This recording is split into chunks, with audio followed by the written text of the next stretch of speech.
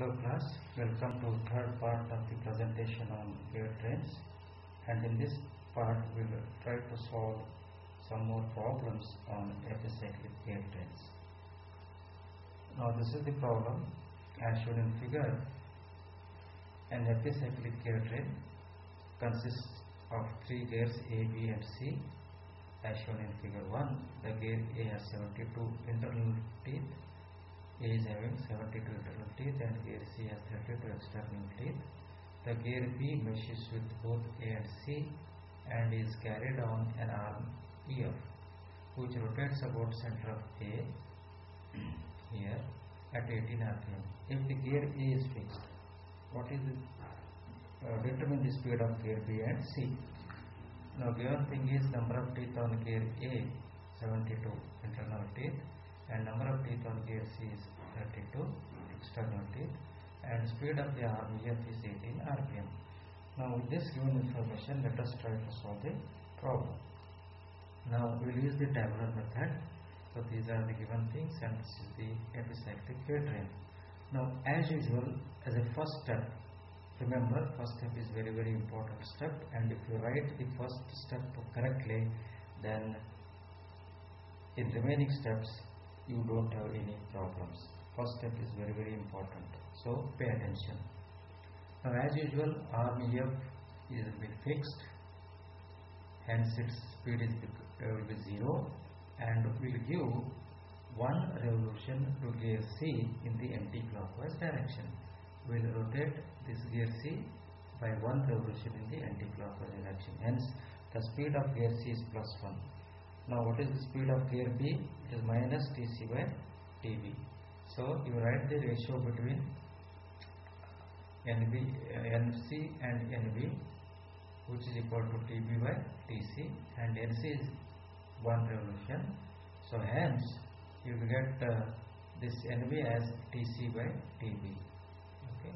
So because this gear B is rotating in the clockwise direction that is why minus again coming to gear A this is uh, the speed of gear A minus Tc by Ta now take the ratio of speed between C and B and C by NB and similarly speed ratio between B and A NB by NA which is equal to TB by TC into TA by TB but NC is 1 substitute 1 here so here TB TB cancel TA by TC here so NA equal to TC by TA it is minus because the gear A rotates in the clockwise direction.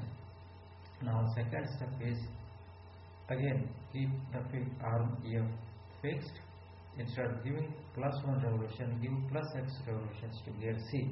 And the speed of gear B becomes minus x times Tc by Tb and similarly the speed of the gear A becomes minus x times Tc by Ta. Third step which is common uh, in almost all problems adding y revolutions to all these elements hence the total motion of EF becomes 0 plus y y x plus y x plus y plus y minus x Tc by Tb plus y minus x into Tc by Ta. So once this is over, we'll move on and uh, try to find out the speed of the gear C when the gear A is fixed. We know that the speed of the arm EF is 18 rpm, so hence y equal to 18. Now also this NEF that means arm speed which is equal to y 18 rpm. Now when gear A is fixed, NA equal to 0. So picking this speed of the gear we get y minus x into dc by T equal to 0. Hence x equal to 40.5.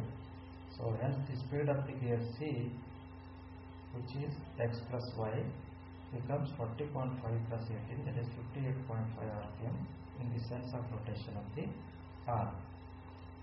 Now second part of the problem the speed of the gear B when gear A is fixed. Now here uh, we don't know the number of teeth on gear B so hence it is necessary to find the number of teeth on gear B and the method is very simple. let us assume that the dA, dB, dC are the circle diameters of the gear A, B and C. And from this geometry we can write the diameter of the gear B plus the radius of gear C it is nothing but dc by 2 equal to radius of gear A. Radius of gear A is nothing but dA by 2. So hence by rearranging this you get 2 dB plus dc equal to dA. We know that the number of teeth are proportional to their pitch circle diameters. Therefore this equation can be written in terms of number of teeth directly. So hence this equation becomes 2 dB plus sorry 2 dB plus dc equal to TA. Now TC we know is 32 hence number of teeth on gear B is 20. So T is 72, TC is 32 hence TB is 20. By substituting this the speed of the gear B becomes minus 46.8 RPM. Now this is another problem as shown in figure. An epicyclic train of gears is arranged as shown in figure 2. How many revolutions does the arm this arm to which the pinions P and C are attached, P and C are attached to this arm make when A makes one revolution clockwise and D makes half revolution in the anti-clockwise. This makes half revolution in the anti-clockwise direction. First part. Second part, when A makes one revolution clockwise and D is, D is so given things are the number of teeth on gears A and B are 40 and 90 respectively. Now let us uh, start uh, solve this problem by using the tabular method and before that let us determine the number of teeth on gear B and gear C. Again from this geometry we can write the diameter of the gear uh, A plus diameter of gear B plus diameter of gear C equal to diameter of gear D. dA plus dB plus dC equal to dd. So as B and C are of equal size, hence dB equal to dC, hence dA plus 2 dB equal to dd. So since the number of teeth are proportional to their pitch circle diameters, hence the same equation can be written in terms of number of teeth.